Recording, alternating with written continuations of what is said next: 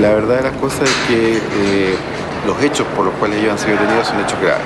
Eh, son los mismos hechos por los cuales fueron formalizados y acusados acá. En su momento también ellos estuvieron privados de libertad.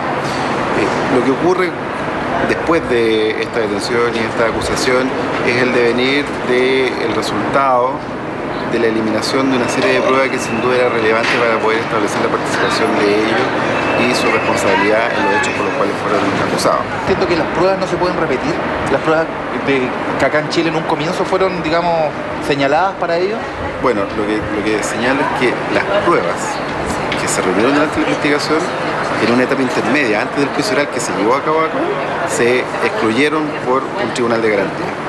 Por eso no se pudieron rendir. Ahora, acá hay una sentencia definitiva absolutoria que está ejecutoriada y que nosotros tenemos que respetar, tenemos que atenernos a ella y en ese sentido hay que ver y tenemos que eh, aprender de lo que está ocurriendo hoy día en España, ver las eh, figuras legales por las cuales a ellos se les va a formalizar y posteriormente acusar y ello nos indicará si es necesario efectuar modificaciones a nuestra legislación interna para poder encasillar adecuadamente estas conductas en un tipo de carácter terrorista, en un tipo penal de carácter terrorista o bien efectivamente en un tipo de infracción de eh, ley de control de armas.